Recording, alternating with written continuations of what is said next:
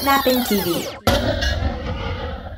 Hi and welcome to Bitnapping TV. My name is Still Bastian and this is your almost daily dose of tech tips. And today it's all about macOS 10 10.6 Snow Leopard and well, one of its few new features.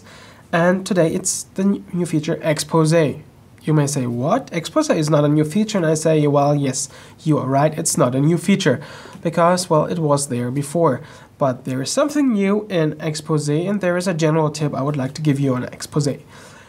The first thing I would recommend is put Exposé on one of your mouse keys. For example, on the wheel. So if you click the wheel, it does Exposé. And I'd show you why. So let's say you have a ton of windows open and well you want to find the movies folder. All you to do is you click the mouse key. You already have that your hand on the mouse. And here it is the movies folder.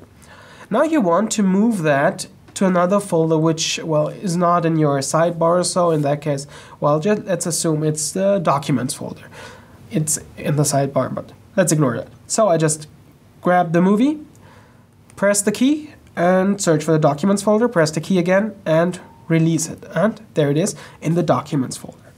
Okay, let's go one step further. You just saw, well, it does expose with the Finder windows, with a Safari window, with the address book, with a QuickTime player, and well, you don't need them, you just need the Finder windows. So, what do you do? Easy. Let's say we want to drag this uh, image to the, well, let's say users folder. Then I just grab it hold it onto the Finder window, and now there is the user folder. I just wait a second, and well, it activates, and I just release it there.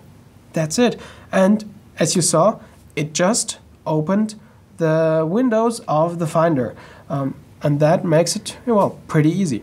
Isn't that cool? I would say this is it for today. Um, well, if you wanna check out Bitnapping TV maybe on YouTube. You can find us on YouTube too. And just go to our YouTube channel, which you can see down there somewhere. And well, that's it for today. Thanks for watching. Goodbye. Be a bitnapper. Email your tips to ransom at bitnapping.tv.